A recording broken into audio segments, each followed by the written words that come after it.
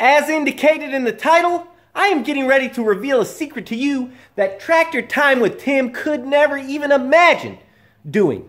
And the reason for this is because Tractor Time with Tim is a straight arrow, a model citizen, nearly a walking saint. I, on the other hand, am an outlaw. And guess what? I'm going to reveal to you how to light a fire underneath Johnny. So how am I going to accomplish this goal of waking Johnny from his slumber? Am I going to put a turbocharger on it? Am I going to change the injectors, the injector pumps, put a cam in it, big nasty pistons? No, not at all. What we're going to do is we're going to raise up the hydraulic pressure. First thing I'm wanting to do is get a accurate reading of how much pressure it has now, and it's supposed to have right around 2,000 psi. So I just stick that gauge into any of these ports on the loader.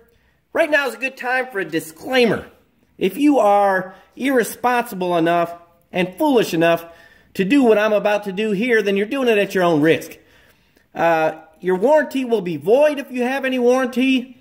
By the time I'm done with this, every seal will be leaking on it, all the internals will be damaged, and the tractor will probably just blow up into a million pieces. With that being said, let's check the pressure now and see what we got. We want to take this measurement at WOT, that is wide open throttle. And I already warmed this thing up, so I can just fire it up.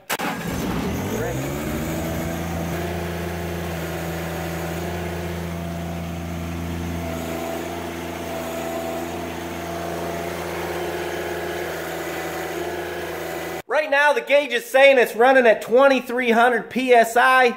I thought it was supposed to been factory set at around 2000. Could be my gauge. Uh, I don't know. I'm not sure why it's a little bit higher than I thought it would be. Doesn't matter. I'm going to increase it a little bit. Now to find the hydraulic pressure relief valve and do some adjustments. I know that there's one here on the rock shaft up in there buried somewhere. And the reason for that one is if you have an implement on the back and you're going over bumps and stuff real hard and the implement's heavy, it relieves the pressure so you don't damage the internals of your machine here, you know, on the lift components. But that's not the one we're after. There's also one internally located in the transmission. That's not the one we're after. What we're after is this one right here. And I'm going to try and show it to you. You see it right there? It's below the loader valve.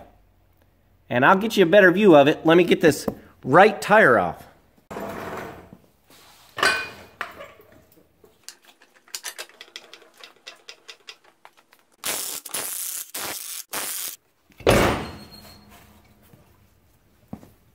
There's a difference between an outlaw and an idiot. Use a jack stand.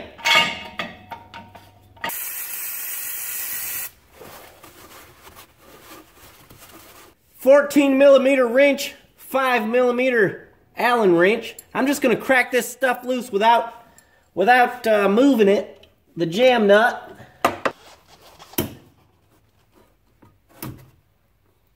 I believe we're ready for adjustment.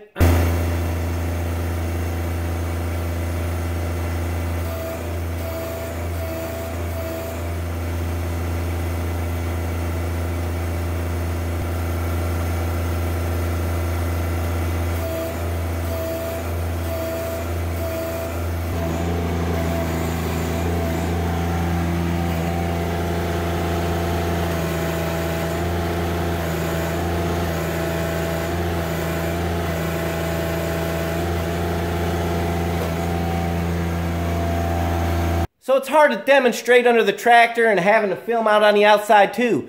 But what you need to do is tighten it up right turn on the Allen screw and hold your jam nut in place until you get it adjusted and then tighten it all down.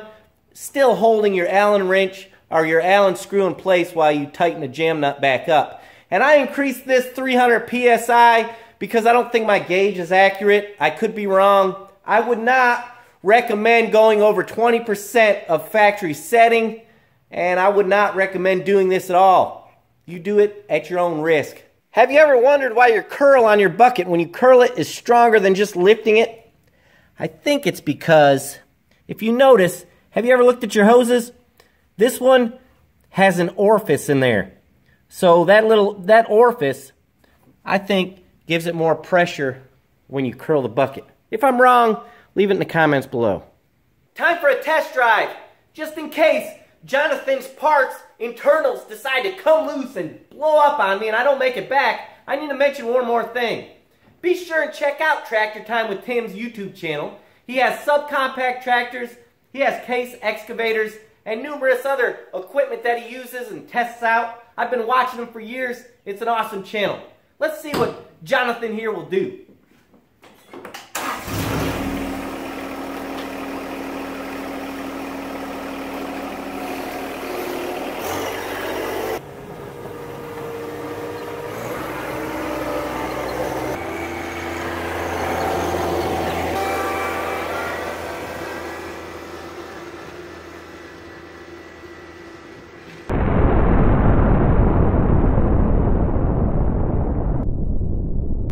Jonathan is officially in beast mode, an absolute animal, a terror. Guys, if you enjoyed this video, subscribe to my channel. Uh, genre is difficult for me on YouTube. I do tractor repair videos, trailer repair videos. I'm building a turbocharged Ranger. If you're interested in any of that, check out my channel, guys. I'd appreciate it. I have one more thing I need to show you before I go. And Tim, I don't know if you're watching this or not, but if you are, and I know you like staying on the tractor. But Christy would absolutely adore throwing wood into one of these bad boys. You need a wood chipper. Trust me on this. I appreciate everybody watching, and we'll see you next time. And yes, I'm guilty. We got a little red in the shed too. Old IH.